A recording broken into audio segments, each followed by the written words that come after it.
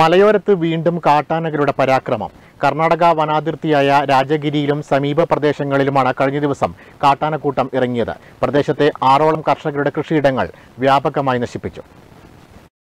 രാജഗിരി ഇടക്കോളനിയിലും സമീപ പ്രദേശത്തെ കൃഷിയിടങ്ങളിലുമാണ് കഴിഞ്ഞ ദിവസം വീണ്ടും കാട്ടാനകൾ ഇറങ്ങിയത്. ഈ ഭാഗത്തെ ഏക്കറുകളോളം കൃഷിയിടങ്ങൾ കാട്ടാനക്കൂട്ടം നശിപ്പിച്ചു. കർണാടക വനാതിർത്തിയിൽ വൈദ്യുതി വേലി തകർന്ന ഭാഗത്തുകൂടിയാണ് കാട്ടാനകൾ കൃഷിയിടങ്ങളിൽ പ്രവേശിക്കുന്നത്. രാജഗിരി ഇടക്കോളനിക്ക് സമീപ പ്രദേശത്തെ ആറോളം കർഷകരുടെ കൃഷികളാണ് കാട്ടാനകൾ നശിപ്പിച്ചത്. രാജഗിരി ഇടക്കോളനിയിലെ കൃഷികൾ പൂർണമായും നശിച്ചതോടെയാണ് കാട്ടാനകൾ പുഴ കടന്ന് മറ്റു പ്രദേശങ്ങളിലേക്ക് എത്താൻ തുടങ്ങിയത്. കാട്ടാനകളുടെ വരവ് പ്രദേശവാസികളെ ആശങ്കയിലാക്കിയിട്ടുണ്ട്.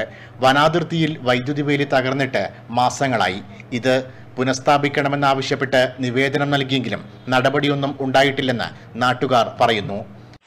ഇവിടെ ഞങ്ങളുടെ രാജീവ് കോളനിയിൽ പിന്നെ ഭയങ്കര ആനശല്യമാണ്. ഞങ്ങൾക്ക് രാത്രി കാലങ്ങളിൽ കടന്നുറങ്ങാൻ പറ്റാത്തൊരു അവസ്ഥയിലാണുള്ളത്. കുറേ കാലങ്ങളായിട്ട് ഞങ്ങൾ കുട്ടികളും വലിയവരൊക്കെ ആയിട്ട് ഭയങ്കര ബുദ്ധിമുട്ടിലാണ് ഇവിടെ കഴിയുന്നത്.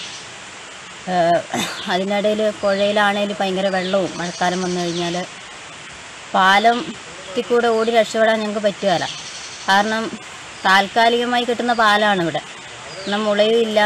പിന്നെ എല്ലാം കൊണ്ട് ഞങ്ങൾ വളരെയേറെ ബുദ്ധിമുട്ട് അനുഭവിച്ചാണ് ഈ അടക്കോളനിക്കാർ കഴിയുന്നത്. വനാതിർത്തിയിൽ തമ്പടിക്കുന്ന കാട്ടാനക്കൂട്ടം അതിർത്തിയോട് ചേർന്ന് താമസിക്കുന്നവർക്ക് വലിയ ഭീഷണിയായി മാറിയിട്ടുണ്ട്. കഴിഞ്ഞ രണ്ടാഴ്ചക്കിടെ അഞ്ചാം തവണയാണ് ആനകൾ കൃഷിയിടങ്ങളിൽ എത്തുന്നത്. Network news Cherupuzha.